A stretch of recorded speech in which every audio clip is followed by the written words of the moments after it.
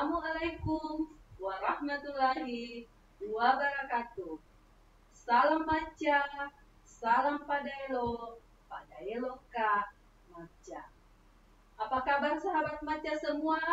Semoga anak-anakku sehat dan tetap semangat meskipun belajar dari rumah. Bagaimana? Apakah anak-anakku sahabat maca sudah mandi dan sarapan? Luar biasa. Nah, jangan lupa untuk mempersiapkan peralatan menulis serta buku paketnya.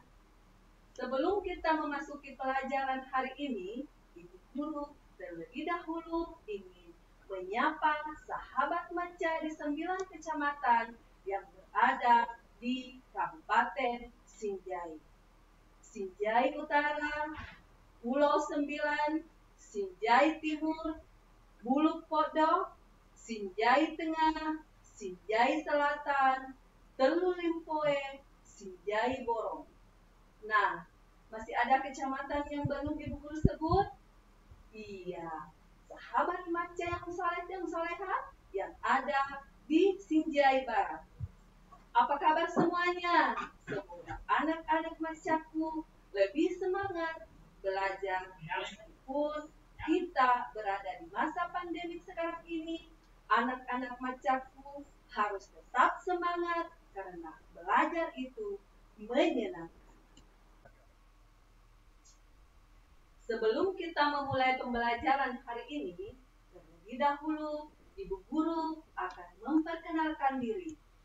Nama Ibu Guru Kalmawati SPDI Ibu guru mengajar mata pelajaran pendidikan agama Islam dan budi pekerti di SD Negeri Nomor 1360 Kecamatan Sinjai Barat. Ibu guru bertempat tinggal di Desa Gunung Perak, Kecamatan Sinjai Barat. Hari ini, Ibu guru akan membawakan mata pelajaran pendidikan agama Islam dan budi pekerti dengan materi beriman kepada malaikat Allah di pembelajaran 7 submateri menerima keberadaan malaikat Allah perilaku yang mencerminkan keimanan kepada malaikat Allah. Adapun buku sumber yang Ibu Guru gunakan yaitu Kementerian Pendidikan dan Kebudayaan, Badan Penelitian dan Pengembangan Pusat Kurikulum dan Perbukuan tahun 2017 halaman 76 sampai 78. Nah, sebelum kita memulai pembelajaran hari ini, alangkah baiknya kita berdoa terlebih dahulu. Berdoa dimulai.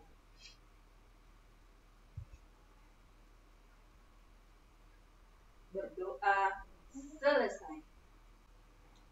Nah, anak-anak maca, adapun tujuan pembelajaran hari ini yang anak-anak maca akan capai adalah satu, anak-anak maca mampu menerima keberadaan malaikat Allah. Yang kedua, anak-anak maca mampu menunjukkan sikap patuh sebagai implementasi dari pemahaman makna iman kepada malaikat-malaikat Allah.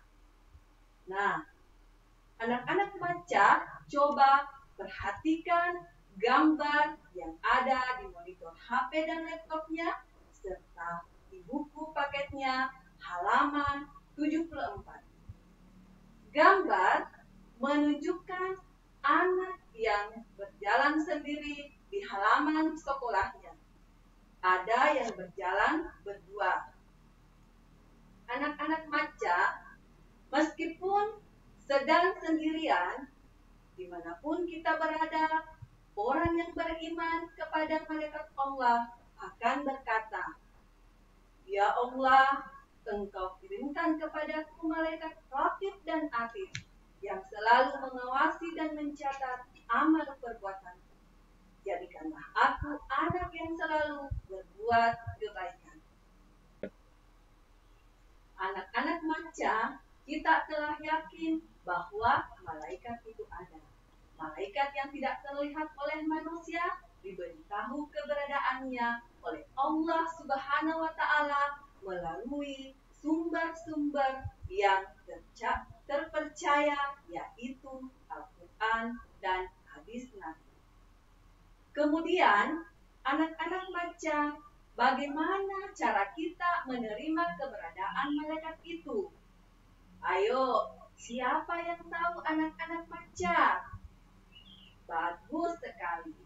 Yang pertama, kita bisa mengingat setiap saat bahwa ada malaikat yang mencatat perbuatan kita dan Allah akan membalasnya.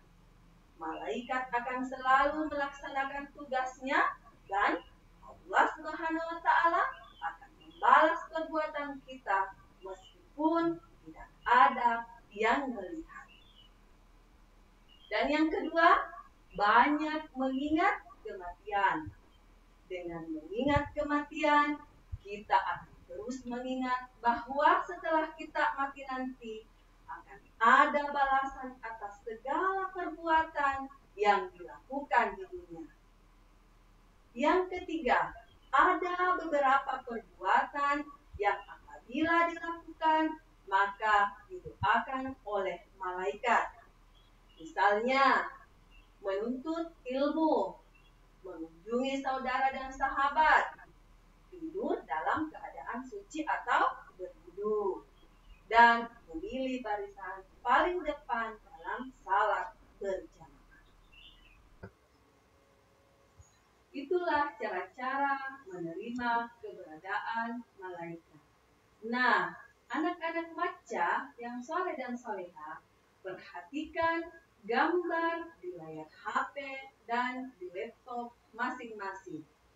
Manakah perbuatan yang baik? Nah, gambar yang pertama menunjukkan gambar berbagi es krim. Ini adalah perbuatan yang yang baik. Terus yang kedua adalah gambar anak yang sedang menyontek menunjukkan perbuatan buruk. Yang ketiga, gambar anak yang tidak berbagi mainan menunjukkan perbuatan buruk. Yang keempat adalah anak yang rebutan mainan menunjukkan perbuatan yang buruk.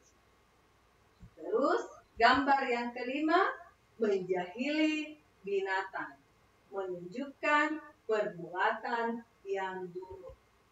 Terus gambar yang keenam anak yang bermain bersama, menunjukkan perbuatan yang baik. Terus gambar yang ketujuh anak yang belajar bersama, menunjukkan gambar perbuatan yang baik. Yang kedelapan, gambar anak yang sedang berkelahi menunjukkan perbuatan yang buruk. Terus yang kesembilan, gambar menunjukkan gambar yang sedang mendengarkan nasihat orang tuanya Nah, ini adalah perbuatan yang baik. Iya. Nah, anak-anak maca yang saleh dan soleha, perhatikan film animasi manfaat bersedekah.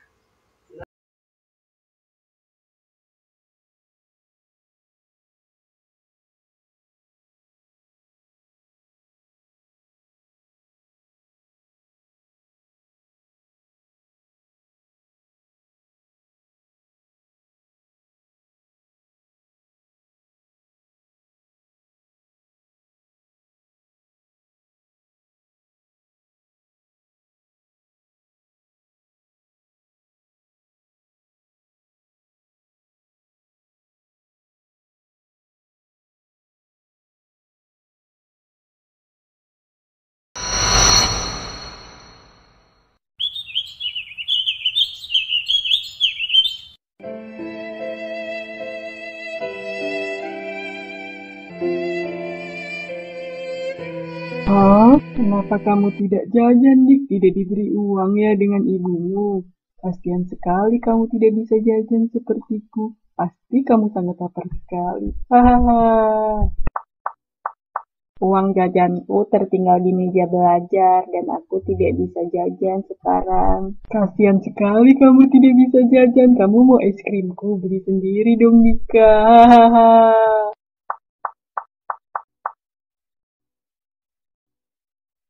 Loh, Dika, kenapa kamu tidak jajan dengan teman-teman? Uang jajanku tertinggal di meja belajar dan aku tidak bisa jajan. Aku sangat lapar sekali, Andi, sekarang. Ini nih, kamu jajan ya pakai uang aku. Aku tadi pagi udah sarapan. Wah, makasih ya Andi. Kamu memang sahabat yang baik. Kalau gitu, aku jajan dulu ya Andi.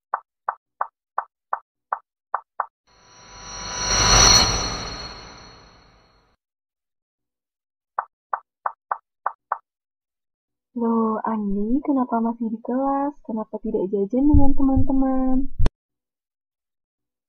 Nggak apa-apa kok, Bu. Andi lagi pengen baca buku aja di kelas. Kamu memang anak yang rajin, Andi. Oh iya, Ibu punya roti dan coklat ini buat Andi. Wah, makasih Ibu. Andi sangat suka sekali roti dan coklatnya. Iya, Andi, ini karena kamu rajin membaca buku.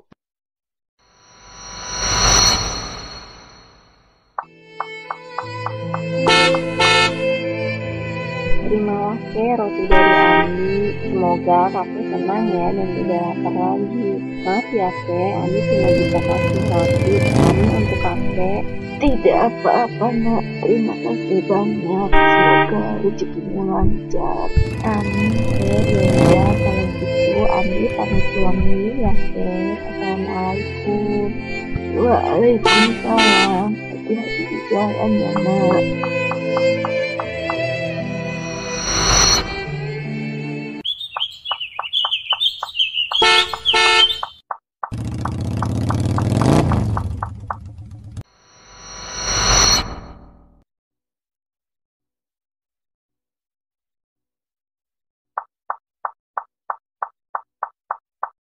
Ayah bawakan oleh-oleh buat Andi, chicken dan sop buah. Wah, kebetulan Andi lapar sekali belum makan. Makasih ayah, Andi makan dulu. Ya udah makan sana. Nyam nyam. Nyam nyam. Nyam nyam. Nyam nyam. Nyam nyam. Nyam nyam. Uh, hehe, akhirnya sekarang Andi kenyang juga. Wah, alhamdulillah ya, sekarang Andi sudah kenyang.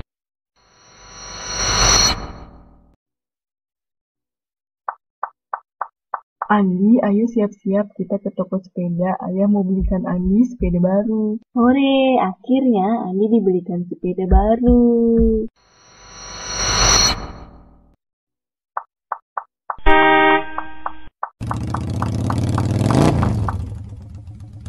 Ini buat Andi, karena Andi sudah bersabar setiap hari jalan kaki ke sekolah. Makasih ayah, Andi suka sama sepedanya. Halo teman-teman, bagaimana? Sudah men- Nah, anak-anak maca, setelah menyimak film tadi, kita diajarkan untuk tidak takut bersedekah. Allah akan melipat gandakan atas perbuatan kita. Anak-anak ma- maca, perhatikan gambar yang ada di layar HP dan laptopnya. Gambar anak yang sedang bersedekah kita melihat di gambar yang ada di layarnya anak yang sedang memberikan uang kepada fakir miskin. Terus gambar yang kedua menunjukkan anak yang sedang mencium tangan orang tuanya sebelum berangkat ke sekolah. Nah, terus gambar yang ketiga adalah gambar teman-teman yang sedang menjenguk temannya yang sedang sakit.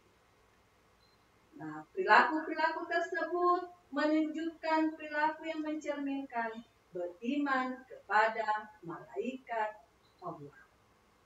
Nah, anak-anak maca yang soleh dan soleha, tadi telah dicontohkan bahwa perilaku suka bersedekah merupakan perilaku mencerminkan beriman kepada malaikat.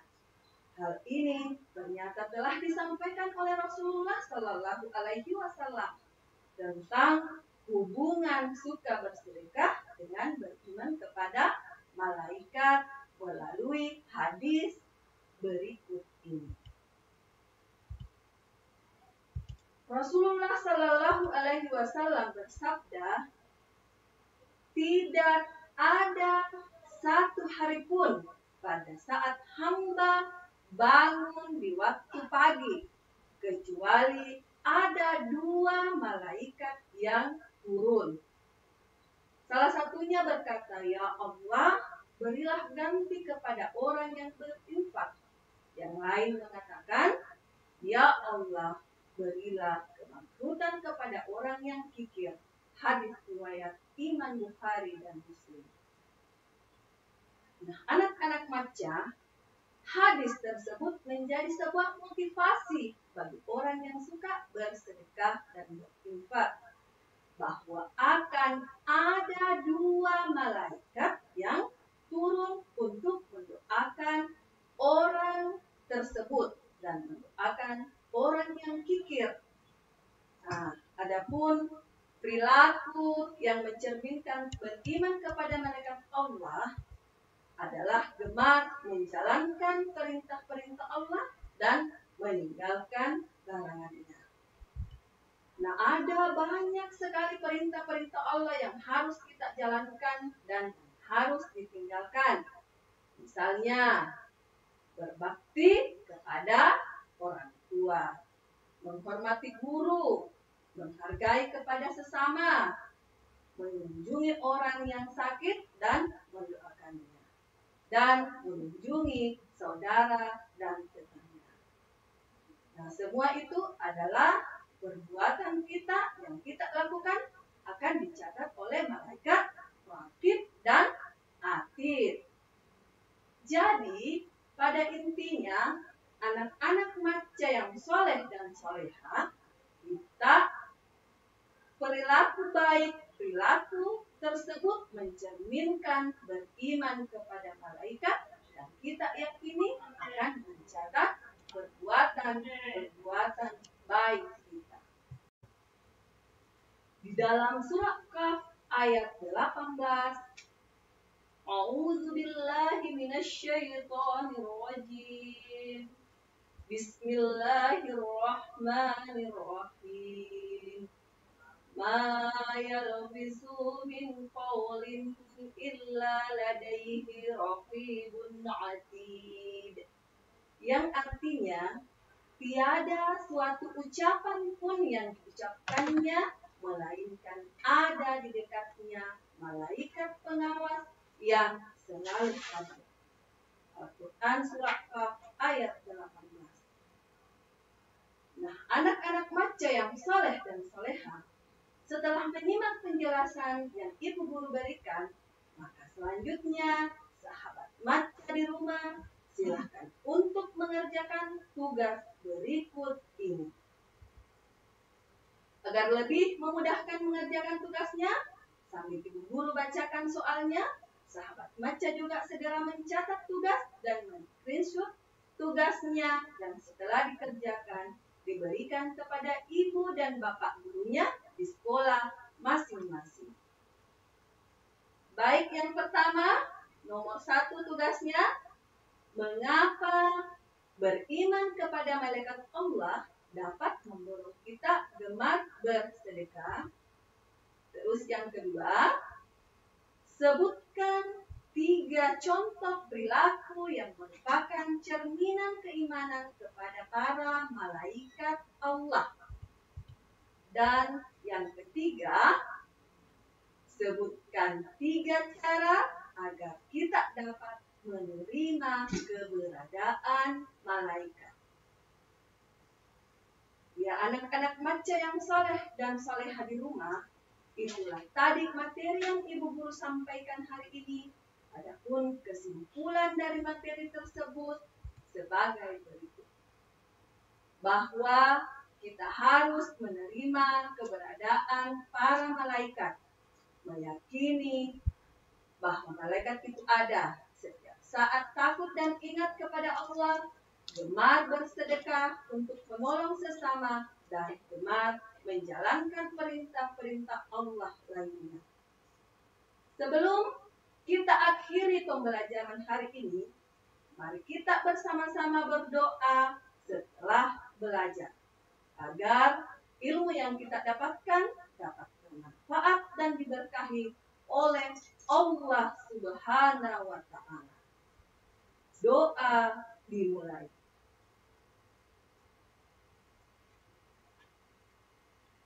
Doa selesai.